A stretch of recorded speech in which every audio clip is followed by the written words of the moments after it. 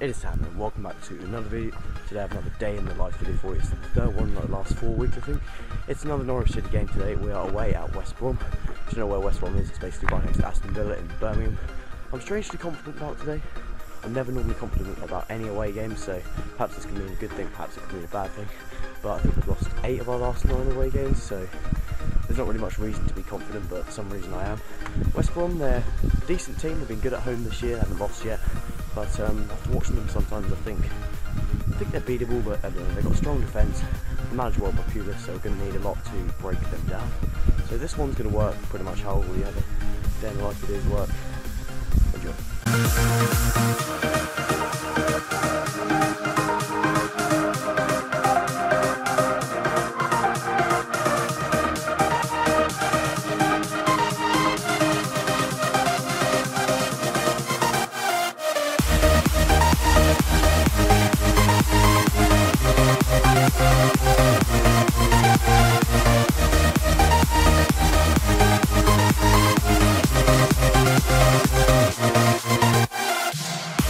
Around Carrow Road and out on the way to the club buses that the Mets have travelled for today.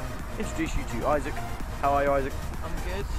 I'm out for the game today. I think we can get a win. Well, he's got, he's got the same optimism as me at least. So journey should be about three hours. We might stop on the way, but um, there's a McDonald's right in the ground, so that'll probably be where I'm next um, talking. So off we go.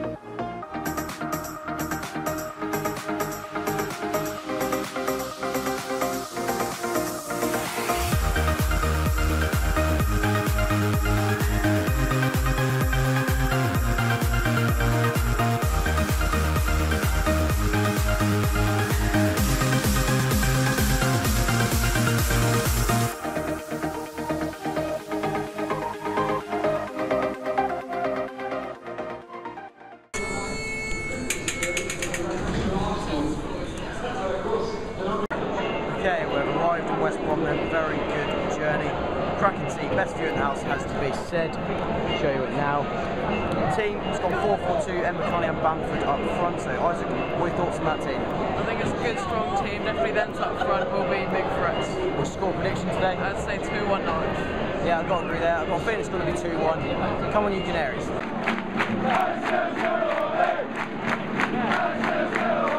Ladies and gentlemen, it's time to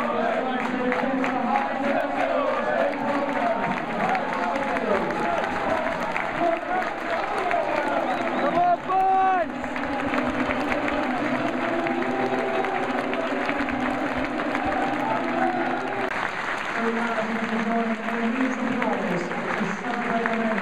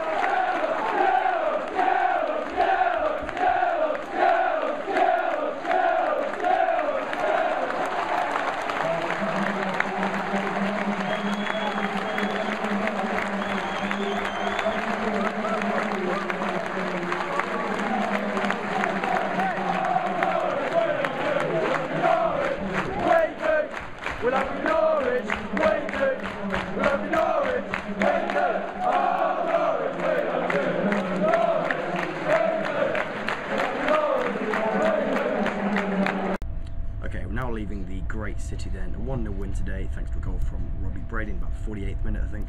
So I'll do a full reflection when I get home. But Isaac, what are your initial thoughts on that? Well, it was a strong performance. I think everyone contributed and it was a well deserved three points. Would you say it was a good away performance? Yep, definitely. Yeah, I mean, we played 4 4 2 today. I think that's like the first time we've tried that this season. I mean, the first time we've won, so I think that's, that's how we need to play when we, when we um, play away from home a bit more often. So now for pizza. Okay, back in this then, back from West Brom. We actually won away from home in the Premier League. I think, I think that's like the first time in three months we've won away. It's the first away win I've seen this season on the road. The performance, then I'll talk a bit about that. To be fair, it wasn't anything special from either team. A bit of pretty scrappy goal that killed it in the end, but it's a huge three points for us. And I just want to say well done to Alex Neil. He played two up front. I think that's the first time this season we've started with two up front, definitely away from home anyway, and it worked. I mean, and we looked very solid at the back for once as well. There was one moment where probably West Brom should have scored, which was the bad pass. I can't remember who it was from, straight to Sessegnon, but he blazed, blazed wide. So um, I think the performance, it was a mature performance. It was a good away performance. We need to put be playing like that away from home all the time, playing two up front and being solid at the back. My man in the match, it's got to go to Gary O'Neil. And again, I'm again I'm afraid he was just outstanding all game, winning everything in that midfield, and he can rumble the ball as well. He was dribbling well with it, I thought, and he didn't make many mistakes. And I mean, the whole team played well. Him and Klose were my standout players. Um, yeah, but the the goal was at the perfect time, just after half time, sort of just kind of killed West Brom. I mean, I've watched West Brom a few times this season. They haven't been great. Rip, that was my phone anyway. But um, they were pretty ordinary today. Didn't really look that up for it. They didn't really have a lot to play for. They're already safe, so it doesn't really matter for them this result. I guess they can just kick on anyway. But for us, massive three points. We've got a b- much better chance of staying up now. Shut up, phone. anyway, um, we've got a much better chance of staying up now. If we can win two of our next three games, they are against Newcastle, Palace, and Sunderland. If you don't know, I think we'll do it. But if not, then I don't think so. But today, great day, brilliant result. I'll see you next time.